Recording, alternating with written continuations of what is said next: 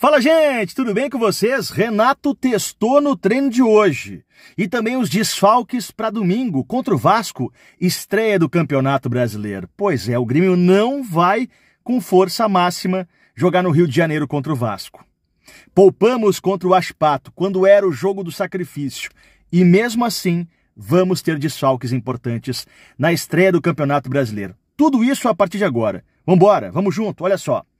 Mike, lateral esquerdo, lesão muscular, grau 2. Bom, grau 2, o que a gente acompanha tradicionalmente é um mês no mínimo, tá?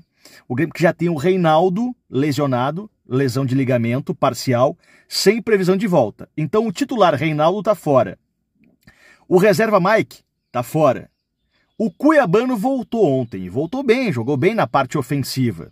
Só que o Cuiabano, como o próprio Renato já disse, é um ponto de interrogação. Não se sabe se o Cuiabano vai ter força física, resistência para não se machucar. Mas seria ele o lateral esquerdo contra o Vasco. Porém, o Renato fez um teste no treino de hoje. Algo que deu certo contra o Juventude. O Fábio, no coletivo de hoje, time reserva contra o time sub-20, com alguns meninos do sub-17, o Fábio jogou de lateral esquerdo. O Fábio é um lateral mais defensivo na esquerda. Faz mais o feijão com arroz ali, né? É, então, contra o Vasco, o Renato pode colocar ou o Cuiabano ou o Fábio, porque o Renato fez esse teste hoje no treino fechado. Aliás, um coletivo que revela a equipe reserva do Grêmio e que sempre chama a atenção da gente. Porque essa equipe reserva do Grêmio vai ter que entrar em campo nos próximos dias, porque vem aí uma sequência de jogos pesada. Mas vamos por partes. Então, não tem Reinaldo, sem previsão, não tem Mike, vamos botar um mês aí, e temos Cuiabano. E tem o Fábio improvisado, que o Renato testou no treino de hoje. Tem o Zé Guilherme também, para a gente fechar o ciclo de lateral esquerdo. Olha o gol do Zé Guilherme hoje. Campeonato Brasileiro Sub-20. Ele fez um gol de falta contra o São Paulo. O Zé Guilherme que jogou até de meio campo hoje. Um lateral mais avançado. Ele que provavelmente também vai viajar para o Rio de Janeiro, ser opção no banco de reservas do Grêmio, mas está é, atrás do Cuiabano. Está atrás do Cuiabano até mesmo do próprio Fábio, mas o Zé Guilherme deve ganhar mais oportunidades. Lembrando, você está careca de saber, já tinha falado em outros vídeos aqui, o outro menino da base, o Wesley Costa, que até foi titular contra o The Strongest lá na Bolívia, ele perdeu espaço, porque não foi bem nos jogos que ele foi testado. E o Zé Guilherme, que foi bem lá na Bolívia, acabou ganhando o espaço dele. Mas o Wesley Costa ainda segue no grupo do Grêmio. Mas o Zé avançou uma casa. Vamos falar então, é, antes da sequência do Grêmio, desse time que jogou hoje um jogo, é, um coletivo contra o time sub-20, sub-17 do Grêmio. Vamos escalar esse time aqui que eu tenho a informação e também eu quero falar da sequência do Grêmio. Vamos nessa? Antes, mais ágil, antecipa agora mesmo o teu FGTS. Você tá apertado? Faz o seguinte, antecipa o saldo do teu FGTS, mas tem que ser aqui, ó, na descrição do Careca, na descrição do link. Clica no link e em menos de 24 horas o saldo tá na tua conta. Aproveita, cara, tá apertado, resolve a tua vida. Vamos nessa? Olha só, time reserva do Grêmio que jogou hoje, tá? No coletivo de hoje. Kaique no gol. Fábio na direita, Gustavo Martins, Natan na zaga e o Luan, o menino da base. No meio, Ronald Dodi, Natan, pescador, Galdino, Natan Fernandes e JP Galvão. Essa foi a equipe reserva do Grêmio. Será que essa equipe, se entrar no Campeonato Brasileiro, corresponde?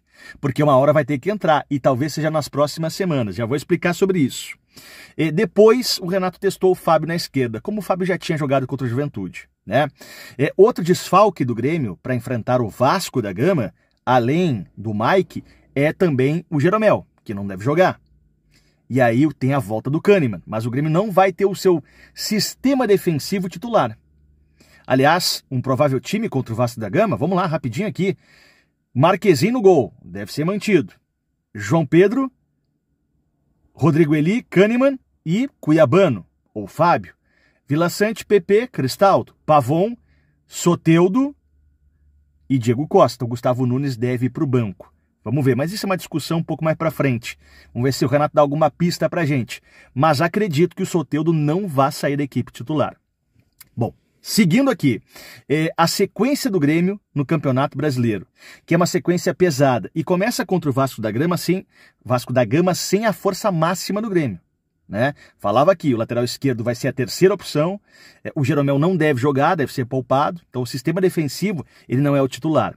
Vamos falar da sequência, mas antes, De escola italiana de pizzaria a farinha vem da Itália, de Petit, aproveita, cara, vai na serra, vai no litoral, vai em várias cidades da região metropolitana, entra no Instagram da De Petit, que tá aqui embaixo na descrição do vídeo, clica ali e vem junto, aproveita De Petit, é sensacional, tela entrega é demais também, receber em casa uma pizza da De Petit.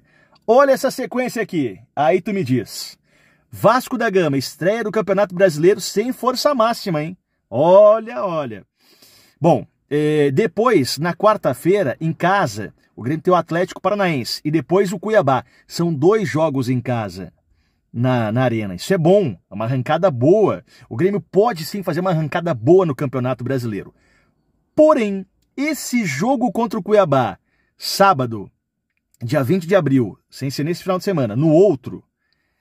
E aí? Vocês viram que vem depois? Estudiantes na Argentina. E aí, será que o Grêmio vai poupar contra o Cuiabá? Porque se o Grêmio não vencer o Estudiantes, não pontuar contra o Estudiantes, se, se não fizer um pontinho, acabou a Libertadores. Ah, matematicamente tem uma chance aqui, outra ali, mas vamos combinar, né? Seriam três derrotas em três jogos na Libertadores, perderia toda a primeira fase.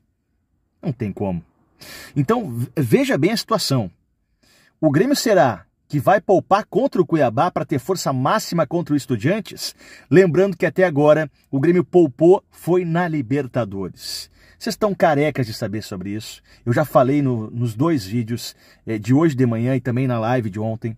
É, o Grêmio tinha que ter feito o jogo do sacrifício ontem.